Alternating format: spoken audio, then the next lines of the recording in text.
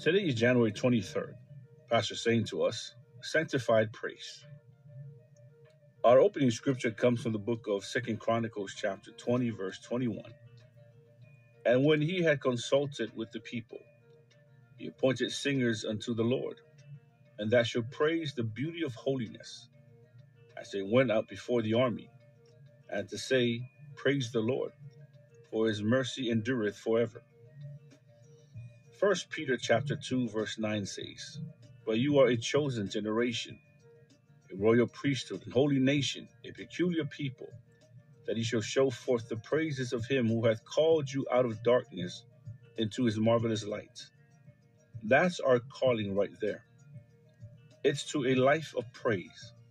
We are sanctified to praise the Lord. In the Bible, David, being a prophet of God, was inspired of the Lord to organize the Levites into choirs. That's because he had the revelation of true worship. David was a musician, an instrumentalist, and a songwriter. He was a singer, and he also made instruments. In the palace of Saul, king of Israel, he often played the flute, 1 Samuel chapter 16, verses 14 to 23. Bible tells us they did make music in kings' houses. Music wasn't something new to the world, but music for God was different. If music was going to be offered in sacrifice to God, it could only be done by the Levites inside the temple. First Chronicles chapter 16, verse 4. Furthermore, our praise is a weapon against the adversary. Recall what happened with Jehoshaphat. Three enemy nations allied against Judah. But Jehoshaphat organized with the people and put the singers in front of the army. The Bible says, And when they began to sing and to praise, the Lord set ambushments against the children of Ammon, Moab, and Mount Seir. Second Chronicles chapter 20, verse 22. That's the power of sanctified praise. There are battles you win with praise.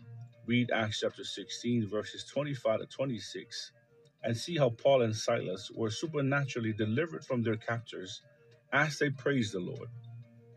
In the New Testament, we are the circumcision that worship God in the Spirit, rejoice in Christ Jesus, and have no confidence in the flesh. Philippians chapter 3, verse 3.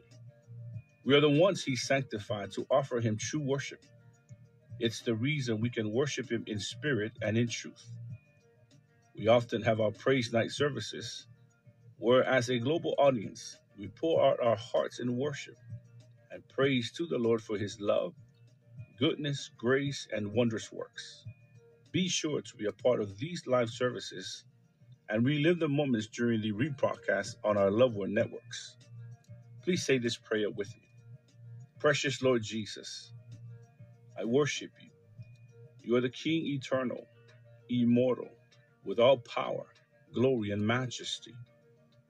You are the monarch of the universe, and you alone have all authority in heaven, in the earth, and under the earth. You are the most high God, worthy of all praise, honor, and adoration. You're King of the ages.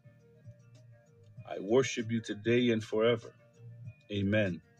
For further study, please read Second Chronicles chapter 20 verses 21 to 22, and Acts chapter 16, verses 25 to 26. The one year Bible reading plan, please read Matthew chapter 15, verses 29 to chapter 16, verses 1 to 12, and Exodus chapters 3 to 5. For the two year Bible reading plan, please read Matthew chapter 9, verses 1 to 13, and Genesis chapter 23 of reality.